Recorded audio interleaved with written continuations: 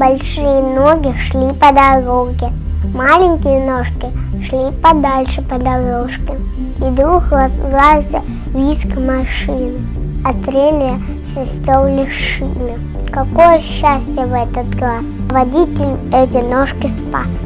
Запомни, юный пешеход, носить ты фликер должен. Есть правила движения и выполнять их нужно без, всем без исключения.